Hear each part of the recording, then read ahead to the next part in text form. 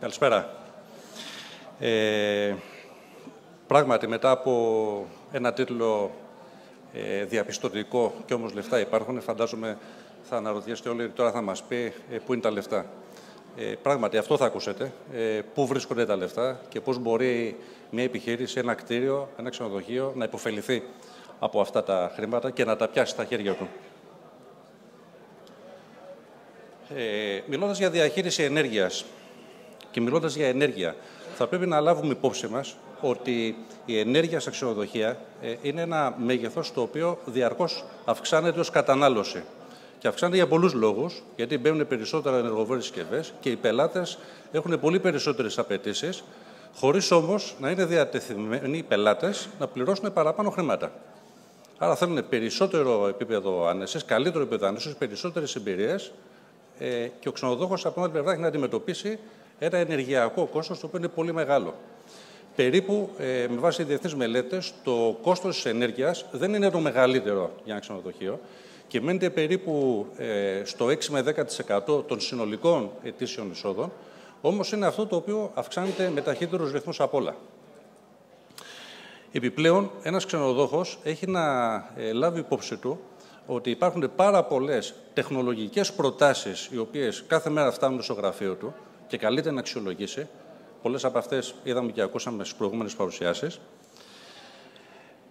Υπάρχει ένας άλλος παράγοντας, ότι ε, υπάρχει ένα νομικό πλαίσιο και θεσμικό πλαίσιο το οποίο αρχίζει και επιβάλλει όρους, προϋποθέσεις και κανόνες όσον αφορά ε, τη χρήση και την κατανάλωση της ενέργειας, ε, εναρμονιζόμενοι με διάφορες ευρωπαϊκές οδηγίες οι οποίες εξελίσσονται σε ε, εθνική νομοθεσία και σύντομα θα αρχίσουν να υπάρχουν και ποινές σχετικά με την καλή ή κακή χρήση της ενέργειας. Και το τελευταίο, αλλά όχι ασήμαντο, είναι το, το σκέλος του πελάτη που έρχεται, που πλέον η αντίληψη περί ε, πράσινου ξενοδοχείου, περί φιλικού προς το περιβάλλον, ειδικά σε ε, επισκέπτες οι οποίοι είναι από ευρωπαϊκές χώρες, είναι όλο και ψηλότερα στην συνείδησή τους όσον αφορά την επιλογή. Άλλωστε, μια τελευταία έρευνα που είχε κάνει η Verdantix, μια εταιρεία που κάνει έρευνες σχετικά με την ενεργειακή κατανάλωση ε, σε όλο τον κόσμο, ε, στο κομμάτι του τουρισμού ανέδειξε ως πρώτο κριτήριο το να επιλέξει κάποιος να πάει σε ένα ε, μέρος για διακοπές το, τον τόπο, το δεύτερο ήταν το κατά πόσο είναι πράσινο ή όχι το ξενοδοχείο. Μιλώντας όμως για διαχείριση ενέργειας και για κόστος ενέργειας, αυτό είναι κάτι το οποίο βλέπει ε, συνήθως ο οικονομικός διευθυντής, ο ιδιοκτήτης του ξενοδοχείου, που του έρχεται κάθε μήνα. Ένας λογαριασμός, κυρίως ε, ηλεκτρικού ρεύματος, και κάθε φορά λέει που καταναλώσαμε τόσο, τόση ενέργεια, γιατί να πληρώσουμε τόσο και κάτι πρέπει να κάνουμε. Σε αυτό το λογαριασμό θα δείτε ότι υπάρχουν 11 περιοχές που είναι ε, χρωματισμένες με πράσινο. Είναι μικρές περιοχές, στις οποίες κανένας δεν έχει σημασία, όμως είναι παράγοντες οι οποίοι διαμορφώνουν το τελικό κόστος.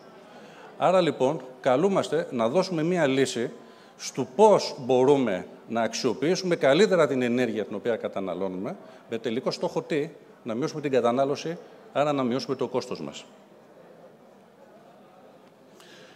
Το πραγματικό κόστος όμως της ενέργειας ποιο είναι και πώς διαμορφώνεται; Είναι η ποσότητα της ενέργειας, οποιαδήποτε μορφή ενέργειας, ηλεκτρικό, πετρέλαιο, φυσικό αέριο, οτιδήποτε.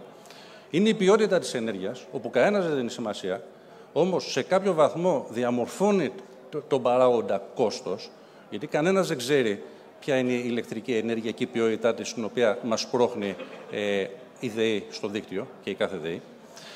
Είναι η ποιότητα των κτηριακών υποδομών μας, η οποία ανάλογα την παλαιότητα, ανάλογα τις τεχνολογικές λύσεις οι οποίες έχουν υιοθετηθεί, μπορεί να μας δημιουργήσει αυξημένες καταναλώσεις. Είναι η συντήρηση, η ποιότητα της συντήρησης που κάνουμε στα μηχανήματα και στις συσκευές μας. Είναι οι διαδικασίες που τηρούμε, όσον αφορά τη λειτουργία ε, του ξενοδοχείου. Τέλος, είναι οι εργαζόμενοι, οι οποίοι έχουν σημαντικό διαχειριστικό ρόλο στη λειτουργία ε, ενός ξενοδοχείου. Και τέλος, είναι και οι πελάτες. Τα περισσότερα από τα συστήματα τα οποία είδαμε, είναι συστήματα τα οποία, μέχρι τώρα στις προηγούμενες παρουσιάσεις εννοώ, είναι συστήματα τα οποία έχουν να κάνουν με αυτοματοποίηση ε, και καθορισμό τρόπων ε, λειτουργίας του, του, του δωματίου, ε, λαμβάνοντας υπόψη εν μέρη και τις απαιτήσεις ε, του, του πελάτη όσον αφορά ε, θερμοκρασία, ε, άνεσης κτλ. Ο κύκλος λοιπόν της ε, διαχείρισης ενέργειας εμπλέκει όλους αυτούς τους παράγοντες που αναφέρθηκαν. Άρα δεν είναι μόνο το πόσο πληρώνω, ε, τι τιμή έχω πετύχει για την ε, μεγαβατόρα μου, δεν είναι μόνο πόσο αγοράζω το, το αέριο, είναι όλοι αυτοί οι παράγοντες. Και αν θέλουμε να μιλήσουμε για αποτελεσματική διαχείριση ενέργειας, πρέπει να λάβουμε όλους αυτούς τους παράγοντες υπόψη και θα πρέπει για όλους αυτούς τους παράγοντες να μπορούμε να κάνουμε κάτι. Για να κάνουμε κάτι όμως, θα πρέπει να πάρουμε μια απόφαση. Και για να πάρουμε απόφαση, θα πρέπει να αξιολογήσουμε. Πώς μπορούμε να αξιολογήσουμε όταν δεν γνωρίζουμε τι συμβαίνει, και δεν γνωρίζουμε τι συμβαίνει, όχι συνολικά, όταν δεν γνωρίζουμε ποιες είναι οι πηγές που μας δημιουργούν το πρόβλημα και πού μπορούμε να επέμβουμε. Εκεί λοιπόν χρειαζόμαστε δεδομένα, χρειαζόμαστε πληροφορίες. Ε, η απεικόνηση που βλέπετε είναι η συσχέτιση της κατανάλωσης σε ένα μεγάλο πελάτη, ε, της ηλεκτρικής κατανάλωσης, ε, η οποία έχει συσχετιστεί με τις θερμοκρασίες περιβάλλοντος που υπάρχουν, ε, αφορά το προηγούμενο έτος, και βλέπετε ότι κάπου στην εβδομάδα 36 υπάρχει μια μεγάλη μείωση της κατανάλωσης. Εδώ λοιπόν, για να επιτευχθεί το αποτέλεσμα, είχαν μελετηθεί τα στοιχεία του συγκεκριμένου συστήματος, όχι του κτηρίου, του συστήματος, για να γνωρίζουμε πόσο ακριβώς μας έχει κοστίσει, μας κοστίζει η λειτουργία, από τι εξαρτάται η κατανάλωση και τι πρέπει να κάνω, πώς πρέπει να το σχεδιάσω και πότε θα πάρω τα λεφτά μου από την επένδυση που θα κάνω. Η συγκεκριμένη ενέργεια που έγινε, στο συγκεκριμένο ε, slide που βλέπετε, δεν έχει να κάνει μόνο με επένδυση σε υλικά ή σε αντικαταστάσεις. Έχει να κάνει και με επενδύσεις στο κομμάτι διαδικασίας, εκπαίδευση εργαζομένων και εκπαίδευση πελατών. Πολύ μικρές επενδύσεις με πολύ μεγάλο αποτέλεσμα. Άρα λοιπόν, για να ξέρουμε που πάμε, ε, δεν αρκεί μόνο ε, να έχουμε τις προτάσεις ε, για τις τεχνολογικές λύσεις ε, και τις οικονομικές προσφορές των προμηθευτών μας, αλλά πρέπει να μπορούμε να κρίνουμε, να αποφασίσουμε και να αξιολογήσουμε με βάση τα πραγματικά δικά μας δεδομένα. Και μιλώντας για ενέργεια, συνήθως πηγαίνει το μυαλό μας μόνο στο ηλεκτρικό ρεύμα. Η ηλεκτρική ενέργεια δεν είναι μόνο αυτή που καταναλώνουμε, δεν είναι μόνο το ηλεκτρικό. Είναι η ενέργεια που καταναλώνουμε, η ενέργεια που παράγουμε, η ενέργεια ε, που μας έρχεται από το δίκτυο η ενέργεια μπορούμε να αποθηκεύουμε. Παράδειγμα, το νερό είναι μια μορφή ενέργειας που πολύ λίγοι δίνουν σημασία. Πόσα όμως ξενοδοχεία έχουν γεωτρήσεις, πόσα έχουν συστήματα όσμωσης, ποιος μετράει το βαθμό αποδοτικότητας μιας όσμωσης, ποιος μετράει το κόστος του νερού, πολύ λίγοι.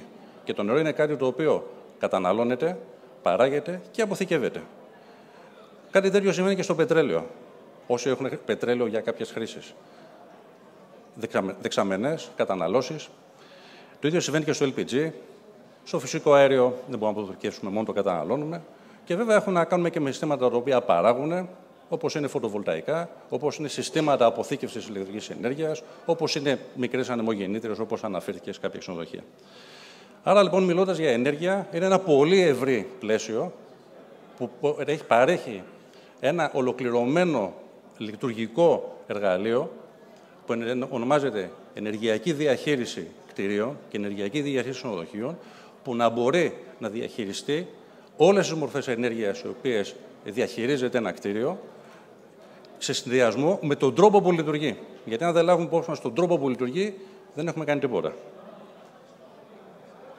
Η Pigreen, λοιπόν, σε αυτό το slide αποτυπώνει ποιος είναι ο δρόμος για να πετύχουμε ε, την εξοικονόμηση ενέργειας και να βελτιώσουμε την απόδοση ενός ξενοδοχείου. Πρώτα απ' όλα, χρειάζεται να έχουμε δεδομένα, χρειάζεται να έχουμε πληροφορίες, χρειάζεται να έχουμε μετρήσεις, το οποίο σημαίνει ότι το Energy Monitoring System, το οποίο εμείς εγκαθιστούμε στους πελάτες, ε, έχει την ικανότητα να αντλήσει δεδομένα από οποιαδήποτε πηγή, από οποιοδήποτε μετρητή, από οποιοδήποτε σένσορα, μπορεί να διασυνδεθεί με οποιοδήποτε σύστημα χρησιμοποιείται για την ε, ε, παρακολούθηση των, των κρατήσεων και για την πληρότητα και έχοντας δεδομένα, ε, μπορούμε να καταλήξουμε σε συμπεράσματα, τα οποία συμπεράσματα είναι πολύτιμες πληροφορίες για να χαράξουμε την ενεργειακή στρατηγική και να πάρουμε αποφάσεις. Δεν είναι μόνο να παρακολουθούμε τις καταναλώσεις, είναι να μπορούμε να εξάγουμε δείκτες απόδοσης, ενέργεια αναδομάτιο, κόστος ενέργειας αναπαραγόμενο γεύμα και δείκτες οι οποίοι μας βοηθούν να διαχειριστούμε το ξενοδοχεία μας με τον καλύτερο τρόπο. Άρα λοιπόν, δεδομένα, πληροφορίες, Αξιολόγηση, ιεράρχηση αναγκών, προτεραιοποιούμε, προτεραιοποιούμε τις δράσεις μας και προχωράμε στα επόμενα βήματά μας.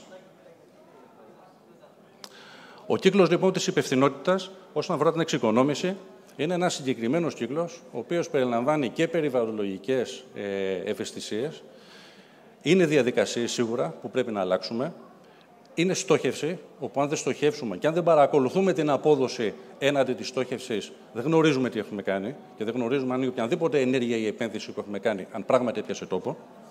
Είναι κουλτούρα την οποία πρέπει να εμφυσίσουμε στους εργαζόμενους, στους υπεργολάβους, στους συντηρητές, στους προμηθευτές μας, στους πελάτες μας. Είναι βελτίωση της ανταγωνιστικότητας. Είναι εταιρική κοινωνική ευθύνη, το καινούργιο το οποίο ακούμε συχνά όπου όλες οι επιχειρήσεις μεγάλες είναι υποχρεωμένες να κάνουν ετήσια αναφορά σχετικά το τι έχουν κάνει για το περιβάλλον, άρα και την ενέργεια, είναι ανάπτυξη και συνοπτικά είναι μια υπόθεση που μας αφορά όλους. Με τα συστήματα λοιπόν ενεργειακής διαχείρισης έχουμε πολλά κέρδη. Πρώτα απ' όλα ε, χαμηλώνουμε ε, το, το λειτουργικό κόστος της επιχείρησης. Χαμηλώνουμε τις επενδύσεις. Βελτιώνουμε ε, το, τη, τη ρευστότητα της εταιρείας καθώς χρειαζόμαστε όλο και λιγότερες επενδύσεις, όλο και λιγότερες δαπάνες για συντήρηση, όλο και λιγότερα κόστη για να καλύπτουμε τις τρέχουσες ενεργειακές ανάγκες του κτηρίου. Βελτιώνουμε την ανταγωνιστικότητα της επιχείρησης, βελτιώνουμε την κερδοφορία, ενισχύουμε την εταιρική κοινωνική ευθύνη και ενδυναμώνουμε και τη διείσδυση στην αναπτυσσόμενη αγορά του sustainable tourism, για αυτούς τους πελάτες, οι οποίοι η, η, η, η αηφόρος ανάπτυξη ενός ξενοδοχείου είναι πολύ σημαντική. Και αυτή η κατηγορία των πελατών είναι πολύ μεγάλη και πολύ σημαντική και διαρκώς ανεβαίνει. Άρα λοιπόν εμείς στην Big Green εστιαζόμαστε στο πώς θα διαχειριστούμε την ενέργεια ενός ξενοδοχείου. Είμαστε ουσιαστικά οι σύμβουλοι, οι τεχνολογικοί σύμβουλοι διαχείρισης της ενέργειας και του κτηρίου σας και σας αφήνουμε να διαχειριστείτε το ξενοδοχείο σας ε, με τον τρόπο που θα φέρετε περισσότερες διανυκτερεύσεις και περισσότερα έσοδα, βελτιώνοντας την λειτουργική αποδοτικότητά σας. Σας ευχαριστώ πολύ.